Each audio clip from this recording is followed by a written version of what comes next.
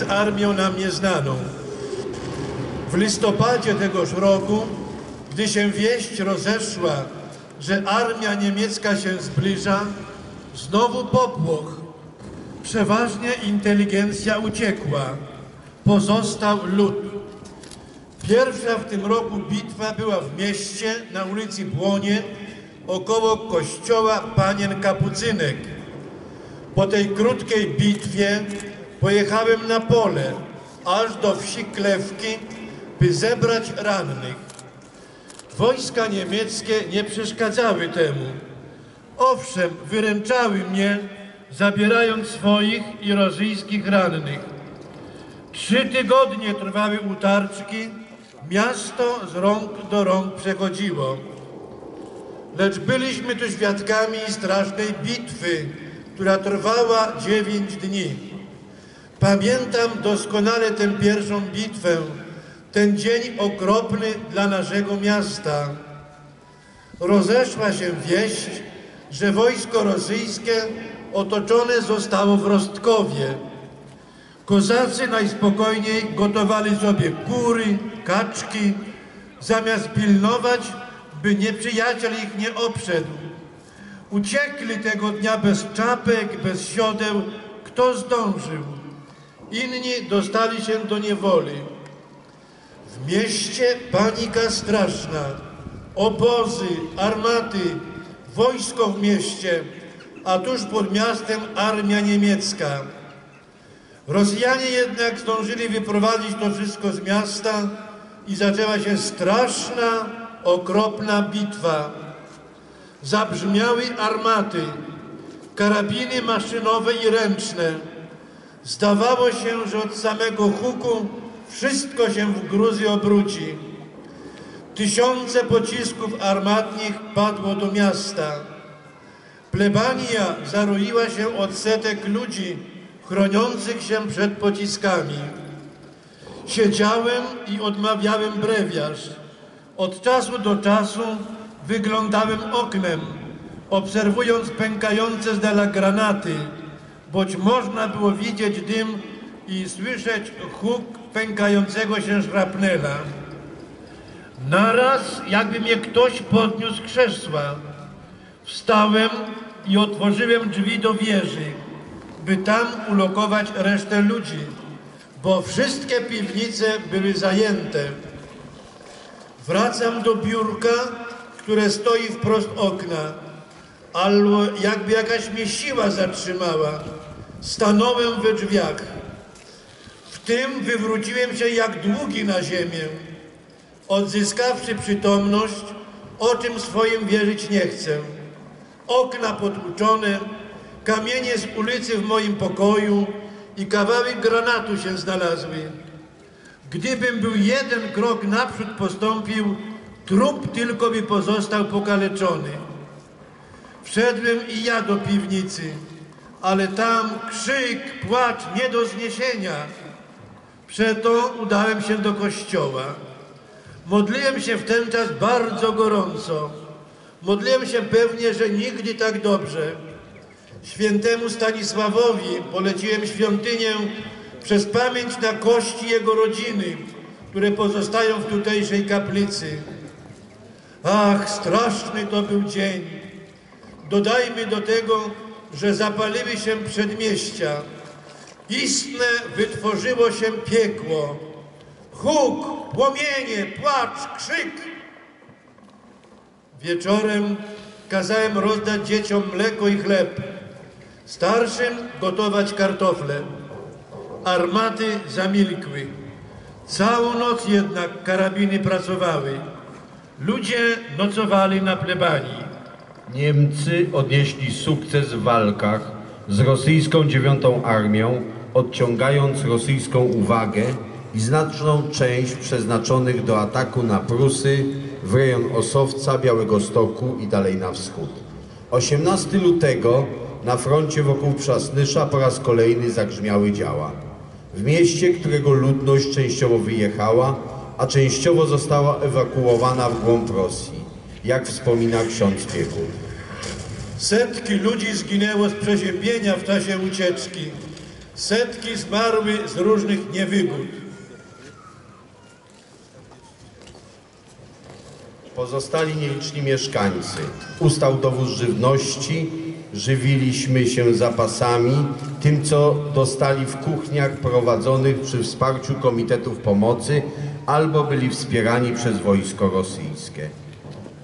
Pierwsze uderzenie sił niemieckich z armii generała Galwica przełamało rosyjskie pozycje na zachód od Orzyca. Siły niemieckie nie zdołały sforsować tej rzeki, ale miały możliwość skierowania się na południe w kierunku Krasnosielca, Makowa. Nie mieli czym przeciwstawić się atakującym Niemcom. W rejonie Przasnysza, w samym mieście, wzmocniła się 63. Rezerwowa Dywizja Piechoty. Front w kierunku Ciechanowa i dalej obsadzał pierwszy korpus turkestański. Wojska niemieckie 1 i 36 Dywizji Rezerwowej zaczęły obchodzić Przasnysz od wschodu i południa poprzez bogate Wężewo i Zieloną, aby w rejonie Węgrzewskie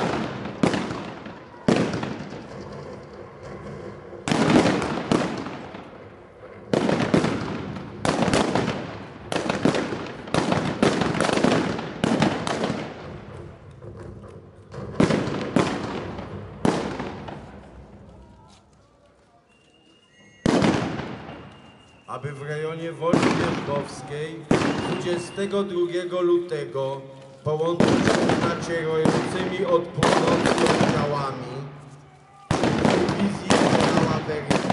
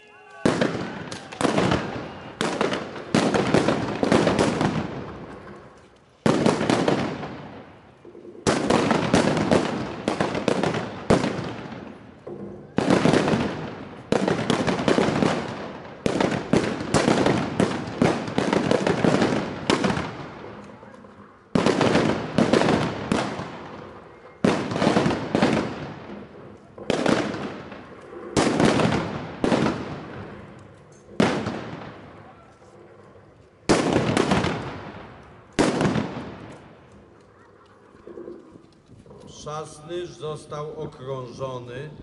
W ufortyfikowanym mieście zamknęły się dwa pułki piechoty, wspierane przez luźne pododdziały innych wojsk. Wojska te broniły się zaciekle, odpierając niemieckie szturmy.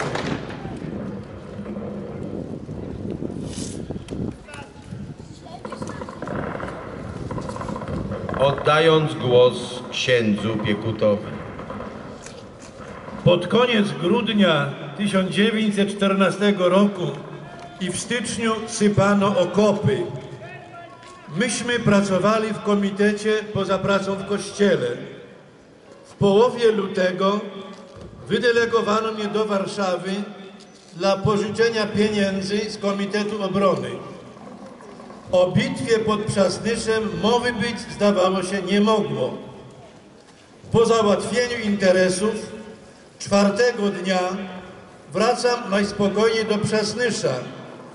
W Makowie zaczynają nam mówić o armii niemieckiej pod Przasnyszem.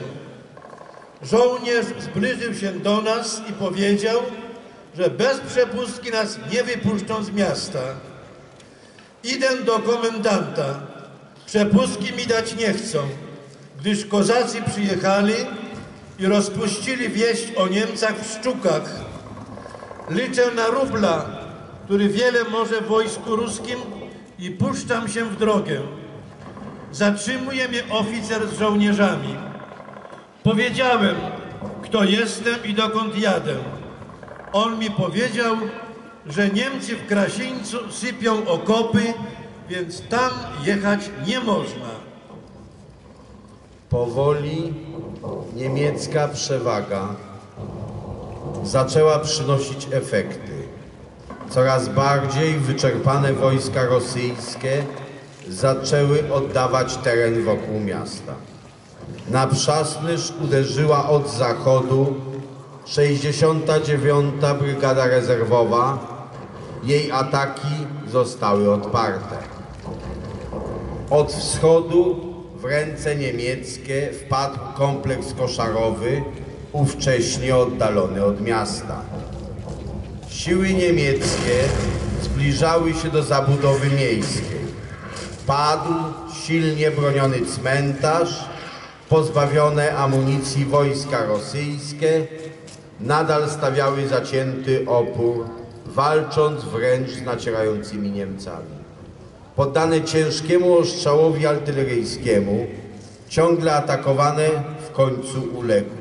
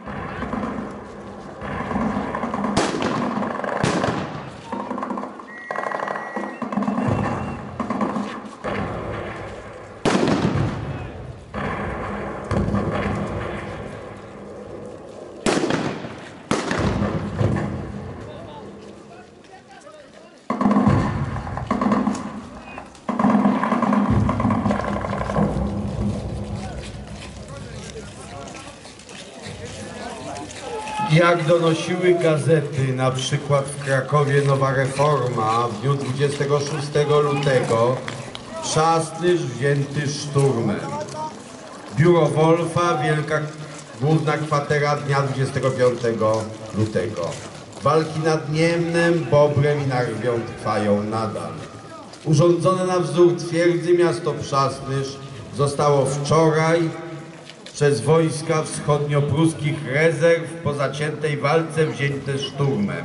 W nasze ręce wpadło przeszło 10 tysięcy jeńców. W uznaniu bohaterskiej obrony wojsk rosyjskich wziętemu do niewoli pułkownikowi Barbinowi niemiecki generał von Morgen zwrócił szablę. W tym czasie po zorientowaniu się w sytuacji Rosjanie zaczęli ściągać w rejon Ciechanowa, Makowa, Różana posiłki.